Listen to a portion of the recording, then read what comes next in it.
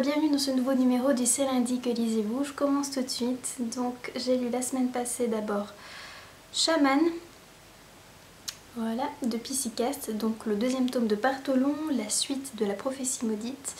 Euh, donc j'ai vu, avant de commencer, que euh, ces deux tomes font partie d'une saga plus grande donc qui s'appelle Partolon et qu'il y a je pense deux ou trois tomes avant la prophétie maudite en anglais mais qui n'ont pas été publiés par Darkis.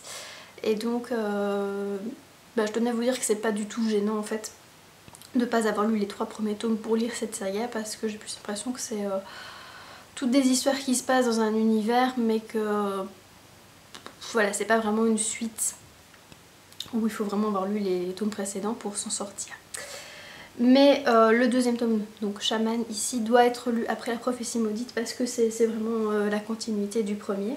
Donc on suit euh, Brigitte qui est la centaure et qui va devoir reprendre contact avec sa famille vu qu'elle a renié sa famille dans le tome précédent, enfin on la voit dans le, tome précédent et ici bah, elle va devoir essayer de renégocier avec eux. Il y a une petite histoire d'amour forcément, c'est même l'intrigue principale, mais il y a d'autres petites choses assez sympathiques. Donc c'est agréable à lire, même si c'est pas euh, le livre du siècle évidemment.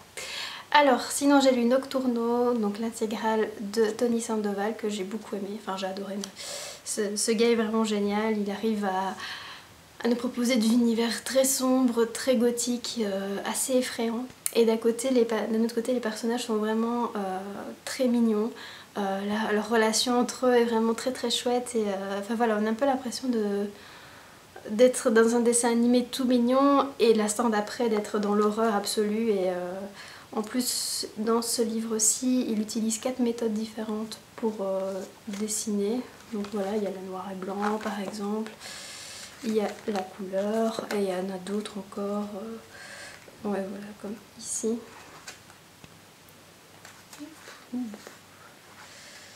ou c'est entre deux. Enfin, il utilise quatre méthodes différentes, il vogue entre, les, entre tous et c'est vraiment très très chouette à, lire. Alors je continue vite parce qu'il n'y a plus beaucoup de batterie. Je lis en ce moment donc à la fois Chatroom d'Hélène Weisweck mais j'ai pas beaucoup avancé donc je vais pas vous en parler. Et je lis surtout euh, Une place à prendre de J.K. Rowling. Euh, bah, on est mardi aujourd'hui mais j'ai quand même bien lu. J'ai la page 285 sur à peu près 680 euh, j'espère le terminer cette semaine pour l'instant, j'adore, j'adore.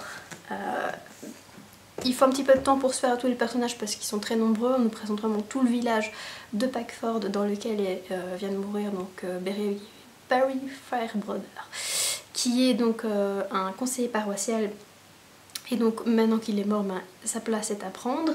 Et donc avant de commencer vraiment l'intrigue, il faut présenter tout le village pour savoir quel impact ça va avoir cette élection dans, dans le village. Enfin voilà, c'est vraiment très très chouette, j'adore les personnages, je suis à fond dedans et euh, enfin voilà, j'espère le terminer cette semaine mais si, euh, si j'ai pas trop de transport en commun ou euh, parce que je, je, peux pas le prendre dans les transports en commun, il est trop gros ou ce genre de choses, ben voilà, ce sera ma priorité. Sinon après je pense lire Trois ombres au soleil de John Henry publié aux éditions de Chloé qui est un, premier roman d'un jeune auteur belge qui me l'a envoyé donc pour avoir mon avis et euh, un petit peu faire connaître le roman donc j'ai hâte de, découvrir ce que c'est. Je sais pas trop de quoi ça parle, elle parle que c'est d'une rencontre entre deux, euh, deux personnes assez marginales. Voilà, je finis ici et je vous dis à la semaine prochaine. Ciao